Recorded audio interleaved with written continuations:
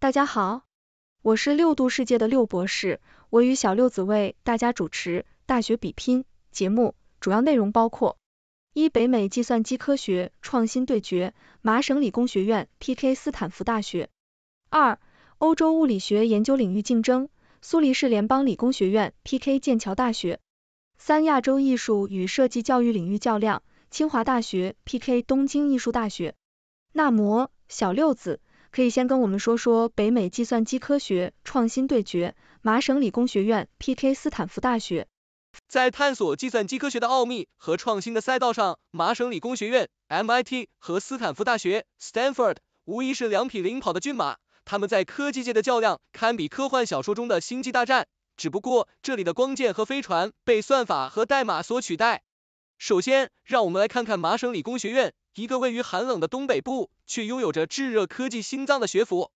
，MIT 不仅仅是一个学院，它更像是一个未来科技的预言家。从人工智能到量子计算，从区块链到生物计算，你能想到的未来科技，MIT 几乎都有涉猎。他们的座右铭可能是：如果它还没被发明，那就让我们来做第一个。而在美国的另一端，有着硅谷摇篮之称的斯坦福大学，它的位置决定了它与科技巨头的天然联系。斯坦福不仅培养了无数的科技创业者，其研究成果也是推动了硅谷从硅基半导体到今天的互联网经济的重要力量。斯坦福的计算机科学家们似乎有着一种特殊的能力，能将最前沿的科研成果转化为改变世界的商业产品。他们的座右铭可能是：创新不仅要落地，还要改变世界。当 MIT 的理论精英遇上斯坦福的创业巨匠，这场北美计算机科学的对决就变得异常精彩。一方面，MIT 的研究者们在实验室里头悬梁锥刺股，挑战人类知识的边界；另一方面，斯坦福的毕业生们在硅谷的咖啡馆里用笔记本电脑敲出下一个亿万级别的创业项目。有趣的是，这场对决并不是零和游戏，在很多情况下，MIT 和斯坦福的研究者们会跨越学术与商业的界限，共同合作，推动科技的进步。比如，在人工智能领域，两校的研究者常常会在顶级会议上共同发表论文，共同推动 AI 技术的发展。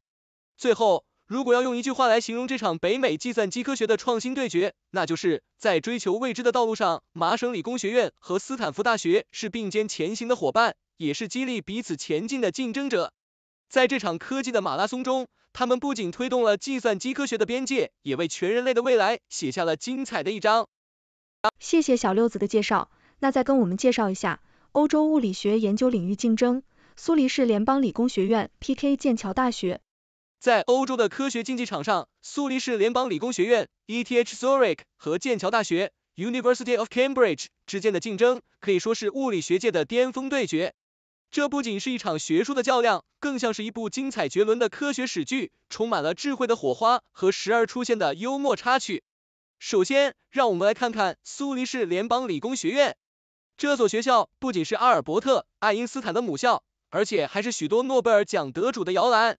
可以说，ETH Zurich 在物理学界就像是那个总是在科学竞赛中拿到金牌的学生，让其他学校既羡慕又嫉妒。他们的研究领域广泛，从量子物理到宇宙学，无所不包，仿佛在对世界说：“看，这就是我们的实力。”而剑桥大学。这个历史悠久的学术巨人，其物理学研究同样不容小觑。剑桥是艾萨克·牛顿的母校，他的万有引力定律几乎成了物理学的圣经。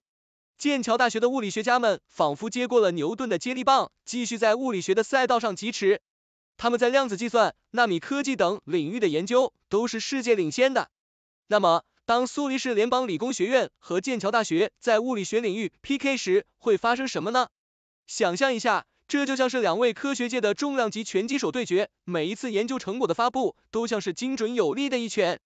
但这场比赛不同于一般的拳击赛，因为在这里每一次对决都会推动科学的进步，让人类对宇宙的理解更加深刻。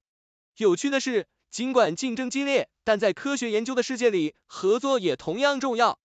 不少时候，我们会看到来自这两所学校的科学家携手合作，共同解决一些最复杂的科学难题。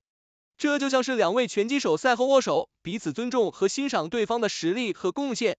总之，苏黎世联邦理工学院和剑桥大学在物理学研究领域的竞争，是一场充满智慧和创新的较量。它不仅展示了两所学校的科学实力，更是推动了人类对自然界更深层次认识的重要力量。而在这场科学的盛宴中，我们既是观众，也是受益者。谢谢小六子的介绍，那再跟我们介绍一下亚洲艺术与设计教育领域较量，清华大学 PK 东京艺术大学。在亚洲艺术与设计教育的较量中，清华大学与东京艺术大学无疑是两位重量级的选手，他们之间的对决可以说是一场东亚艺术教育界的终极对决。想象一下。如果这是一场拳击比赛，那么清华大学和东京艺术大学就是两位身穿华丽战袍、各怀绝技的拳击手，准备在艺术与设计的擂台上一决高下。首先，让我们来看看清华大学这位选手。清华这个名字在中国乃至全世界都讲如雷贯耳，它不仅仅是一所顶尖的综合性大学，其艺术与设计学院也是国内外闻名遐迩。清华大学的艺术与设计教育就像是一位内功深厚的武林高手。他的实力不仅仅在于表面的技巧和形式，更在于深厚的文化底蕴和创新能力。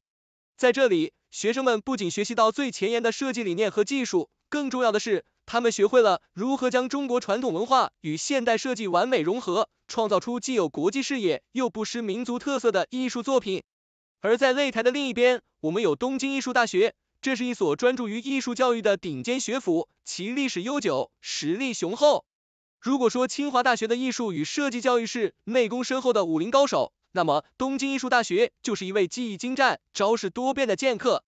在这里，学生们接受的是严格而全面的艺术训练，从传统的日本艺术到西方的现代设计理念，无所不包，无所不学。东京艺术大学的毕业生以其独特的艺术风格和创新能力，在国际艺术舞台上大放异彩。那么，当这两位选手在艺术与设计的擂台上相遇时，会擦出怎样的火花呢？这不仅是一场技艺的较量，更是一场文化的交流和碰撞。清华大学的学生可能会用一幅结合了中国水墨画元素的现代设计作品，展示东西方艺术的完美融合；而东京艺术大学的学生则可能以一件融合了传统日式美学和现代设计理念的作品，展现出日本艺术的独特魅力。最终，这场较量的胜负并不重要。重要的是，通过这样的交流与对决，两校的学生都能够获得灵感和成长，将自己的艺术视野和创造力推向新的高度。而我们作为观众，也能够在这场精彩的较量中，欣赏到亚洲乃至世界艺术与设计的无限可能。所以，亲爱的朋友们，让我们拭目以待，享受这场艺术与设计的盛宴吧。而对于清华大学和东京艺术大学来说，这不仅仅是一场比赛，更是一次展示自己实力、传播文化魅力的绝佳机会。亲爱的观众朋友们，今天我们一起来探讨了北美计算机科学创新对决、欧洲物理学研究的竞争以及亚洲艺术与设计教育的较量。通过这些对决，我们见证了学术界的精彩和创新的力量。在北美计算机科学的对决中，麻省理工学院和斯坦福大学展示了他们在科技创新领域的强大实力，而在欧洲物理学研究的竞争中，苏黎世联邦理工学院和剑桥大学展示了他们对自然界的深刻理解。